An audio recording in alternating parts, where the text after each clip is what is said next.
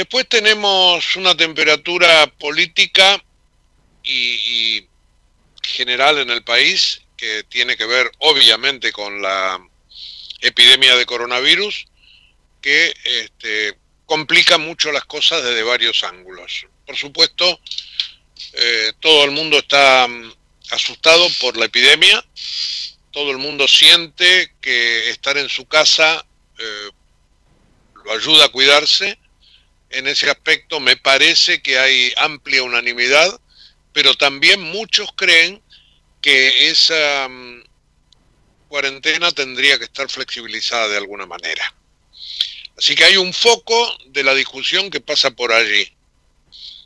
Flexibilizar más, flexibilizar menos, el bolsillo sufre, la cabeza de la gente sufre, la cadena de pago sufre, económicamente la situación viene muy mal. Sanitariamente también, porque están creciendo los casos, y crecen los casos fundamentalmente en los barrios vulnerables de la capital federal y del Gran Buenos Aires. A nivel mundial, en este momento, tenemos un total de 5.700.000 casos, de los cuales la mitad ha transitado ya la enfermedad. 2.500.000 se recuperaron, 350.000 fallecieron a nivel mundial. ¿eh? Significa que hoy están entrando al, coronavirus eh, prácticamente la misma cantidad de gente que la que sale. Pero esto es un grave promedio. En los países de América Latina la curva va para arriba y acá en la Argentina está mal porque tenemos 13.228 casos, ayer se sumaron 484, perdón, perdón, este, hay 484 muertos, y esto, este, evidentemente, eh, si uno le suma a los que se han recuperado, eh, nos da un porcentaje de 35%. Quiere decir que 65 entran y 35 salen. La curva va para arriba. Gran peligro pero esto también es promedio. Porque si entramos a desgranar, vemos que eh, el país está en este momento entre Capital Federal y Gran Buenos Aires con el grueso de los casos y apenas de esos 13.200, 2.500 en el resto del país. Quiere decir que está mm, más o menos controlada la situación en muchos lados y que bien podría la economía comenzar a funcionar allí, aunque no en estas zonas las de mayor densidad y, por ahí las de mayor productividad. Bueno, dicho todo esto, eh, también hay que marcar entonces que si estas son las zonas más castigadas y las más densas, evidentemente los promedios a nivel país no nos sirven de mucho. Y entonces hay que focalizarse en esos promedios y empezar a encontrar eh, dónde se dan los casos este, con mayor frecuencia. En este momento, en todo el país, la duplicación de los casos, que es lo que se mide, te da 14 días. Eh, en la capital federal, en el Gran Buenos Aires, la cosa es muy inferior. Cada 6, 7 días, o aún menos, se duplican los casos. Y mucho peor todavía en los cotos, en los, este, en los lugares donde la situación, probablemente por, por un por, por desmejoran el hábitat, eh, porque la, cuestión de las, de las villas y, del hacinamiento te provoca la velocidad de contagio, eh, la cosa se manifiesta con mayor velocidad.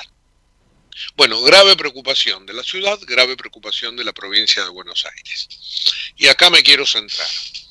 El gobernador Kisilov, ante esto, demuestra que no tiene la estatura de gobernante que, se merece una provincia como la provincia de Buenos Aires. Porque el hombre está tirando palos de ciego. Se dedica más a criticar y se dedica más a echarle la culpa a los demás antes que a gobernar.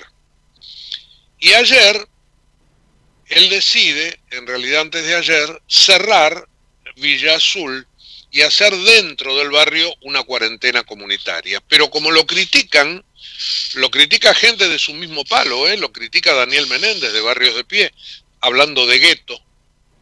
Este, entonces él dice, bueno, lo mismo se podría hacer en los edificios o en los countries.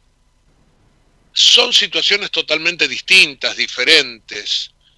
Este, por empezar, los edificios tienen eh, departamentos aislados unos de otros y los countries tienen guardias y perímetros, etcétera, etcétera. Digo, él lo que busca en esto es mostrarse, es parecer, y lo que se necesita de un gobernante es que sea.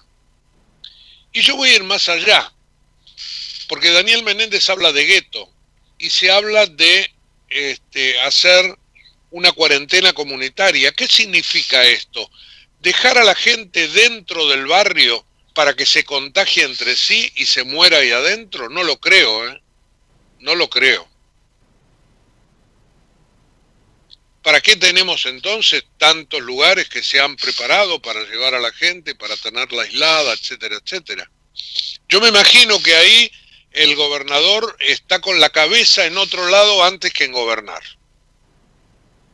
Y, yo creo que hay que marcarlo, que hay que marcarlo, porque ayer el presidente de la nación, al lado de Kisilov, dijo una frase que uno la lee, eh, por supuesto, y no puede dejar de estar de acuerdo, tener en las cárceles personas en situación de riesgo es inhumano.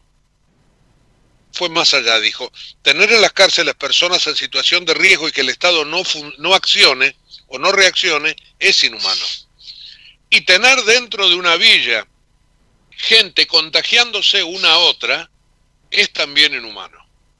Así que espero de todo corazón que el gobernador reflexione que se ponga los pantalones, que sepa que es el gobernador del estado más importante de la Argentina y que gobierne no pensando en la imagen y no pensando en echarle barro a la oposición.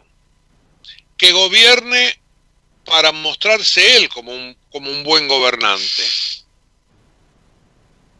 Digo, porque así se lo van a agradecer finalmente los ciudadanos. ¿Cómo vas a dejar a la gente aislada para que se contagie entre sí? Hoy este, nuestro colega Ricardo Roa recuerda lo que pasó en la provincia de Wuhan, en, China, que se siguió este método y fueron miles y miles los contagiados y los muertos. Así que ojo, eh, ojo. Ponerse los pantalones largos, gobernar, este, no significa hacer discursos con el dedito arriba echándole la culpa a los demás. Gobernar significa prever, tener la manija. Ojo, ojo, que podemos entrar en una espiral si no se ponen los pantalones largos quienes tienen que manejar esta situación tan grave que bastante tiempo han perdido, por lo que fuere, bastante tiempo han perdido, pese a que la Argentina se adelantó 30, 40 días a otros países del mundo con respecto a la cuarentena. Y gracias a eso y a esa visión tenemos hoy esta curva aplanada que tenemos. Entonces no dejemos que se escape porque la política mete la cola. Eh, yo leería hoy una nota, esta nota de, de Ricardo Roa, leería este, la nota de Joaquín Morales Solá en el diario La Nación, habla de los conflictos entre la libertad y la situación epidemiológica, y leería la nota de Eduardo Van der Koy en el diario Clarín, marcando un poco políticamente la cosa. Y agrego lo de Kisilov porque me parece que es central para, para el día de hoy, para que reflexione el gobernador. Uno trata de no hacer eh, críticas personales, este, porque verdaderamente eh, todas las personas tenemos nuestros defectos, hacemos críticas políticas y a los políticos le marcamos las cuestiones psicológicas y me parece que Axel Kisilov necesita equilibrarse. Bueno, allí están dadas las cosas.